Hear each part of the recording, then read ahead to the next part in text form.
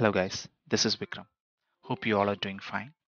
When double clicking an object such as text or block, it does not open the object specific editor dialog or window in AutoCAD. Let me create a basic block on text to show you what I'm talking about.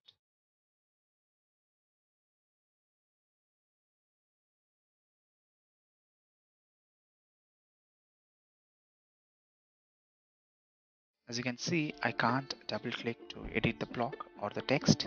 Even when I right click, it does not have an option to edit the text or the block. In this video, I'm going to show you how to fix it. Let's get right into it.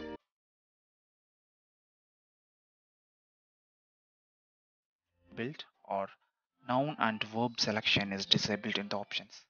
There are some other reasons as well such as attributes are assigned to the object. However, you can use text edit or bedit command to edit the text or block. To fix this, enter pick first on the command line and change the value to 1.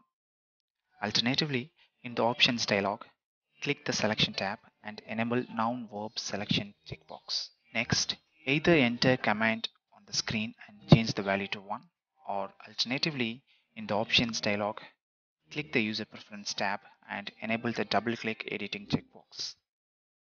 As you can see now we can easily edit any text by double clicking the text and also edit the block by double clicking on the block or right click and open in block editor.